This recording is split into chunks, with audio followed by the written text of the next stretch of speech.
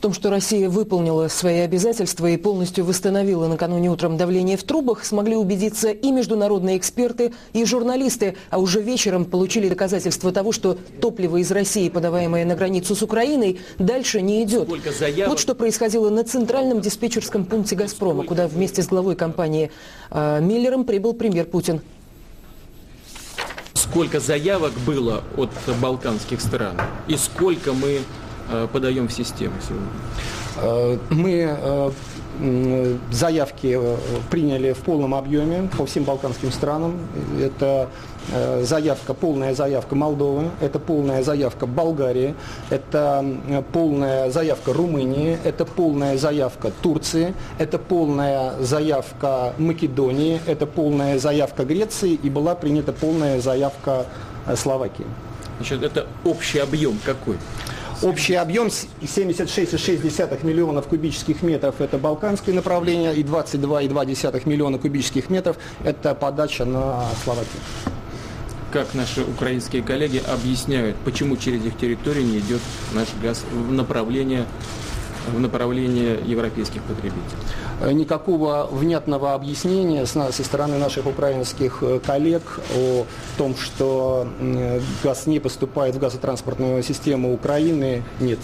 Ну вот сейчас только руководитель НАКО Украины сделал публичное заявление о том, что газ действительно не поступил в систему. Они не могут ее открыть по каким-то причинам, по каким непонятно.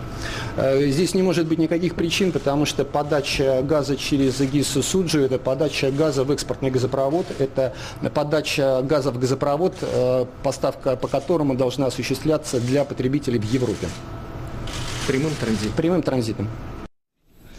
В Москве уже не раз подчеркивали, что намерены и дальше работать в открытом режиме и оказывать содействие европейским наблюдателям, которые находятся на российских газотранспортных объектах. Что же касается Украины, то, по словам Владимира Путина, России вместе с европейцами придется думать, как быть дальше со столь ненадежным транзитером. Мы постараемся и дальше работать в таком же режиме, абсолютной транспарентности, чтобы все наши партнеры точно и ясно представляли о том, что происходит на территории России на выходе нашего газа в сторону европейских потребителей. У нас э, очень большой объем отношений не только с э, балканскими странами, но и с Центральной Европой, с Западной Европой. Вот, э, мы в таком же режиме будем работать по всем направлениям. Мы э, первоначально планировали сделать именно то, что сделали сегодня. Открыть газ в направлении тех стран, которые больше всего пострадали от этого конфликта. Прежде всего, это, конечно, балканские страны.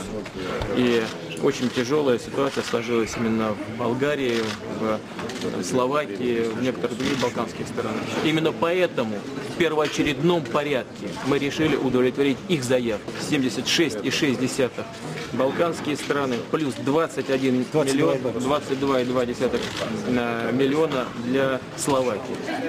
Но если газ не идет по территории Украины. Значит, нужно вместе, э, всем нам вместе, вместе с украинскими партнерами, думать над тем, что же нужно сделать дополнительно для того, чтобы газ все-таки пошел. Э, может быть, техническое состояние газотранспортной системы Украины находится сегодня в таком положении, что она не в состоянии прокачивать. Это тоже возможно. Но тогда нужно об этом прямо и откровенно сказать. Нужно э, понять, э, с какой транспортной системой мы сегодня имеем дело. Э, в состоянии ли вообще газотранспортная система Украины прокачивать этот газ сегодня? Является ли Украина способной прокачать такой объем? Ну, постараемся это выяснить, в том числе и при вашем непосредственном участии.